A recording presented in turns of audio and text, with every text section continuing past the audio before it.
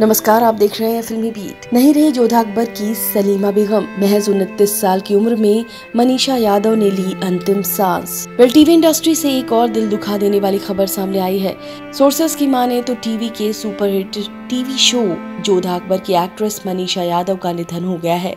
Reports के मुताबिक TV serial actress Manisha Yadav show Jodha Akbar में सलीमा बेगम का किरदार निभाती थी।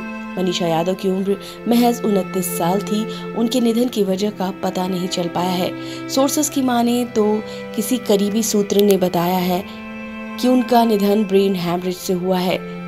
बता दें, कुछ दिनों पहले ही मनीषा यादव ने अपने बेटे का बर्थडे सेलिब्रेट किया था। इसकी जानकारी उन्होंने सोशल मीडिया पर शेयर भी की थी। मनीषा के बेटे का पहला बर्थडे पिछले जुलाई में हुआ था। अपने बेटे की तस्वीरों को शेयर करते हुए मनीषा ने लिखा था, पहला जन्मदिन तुम्हें मुबारक हो मेरे बेटे। तुम मुश्किल वक्त में मेरे जीवन में एक रोशनी की तरह बनकर आए हो। मैं तुम्हारी माँ होने पर भाग्यशाली महसूस करती हूँ।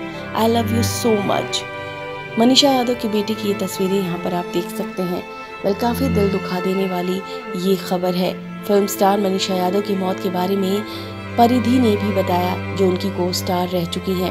उन्होंने इंस्टा स्टोरी के ज़रिए बताया। उन्होंने मनीषा यादव की तस्वीर सोशल मीडिया पर शेयर की और लिखा, ये दिल तोड़ देने वाला है। आपकी आत्मा को शांति मिली मनीषा यादव। सोर्सेस की माने तो परिधि शर्मा ने इस बारे में बताते हुए कहा था कि वो शो खत्म होने के बाद एक दूसरे के संपर्क में नहीं थी।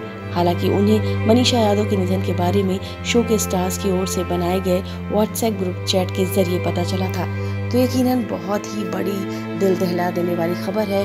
अपने एक साल के बेटे को छोड़कर चली गई मनीषा यादव। इस वीडियो में बस इतना ही।